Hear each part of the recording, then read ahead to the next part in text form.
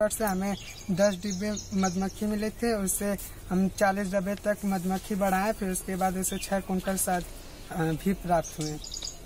कृषि विज्ञान केंद्र कोटवा फार्म आजमगढ़ से हमको 10 डब्बा मधुमक्खी पालने के लिए वितरण किया गया था।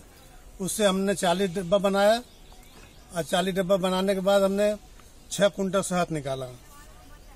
छह कुंटल शहद प्राप्त करने के बाद हम अगल बगल वालों को भी यही राय देते हैं, सलाह देते हैं कि आप लोग मधुमक्खी पालिए, अपनी आय बढ़ाइए।